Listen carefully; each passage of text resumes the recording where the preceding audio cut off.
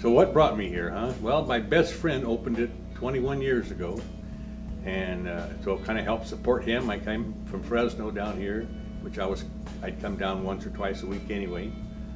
So he showed me his 12 stages of purification, which is now 13 stages of purification.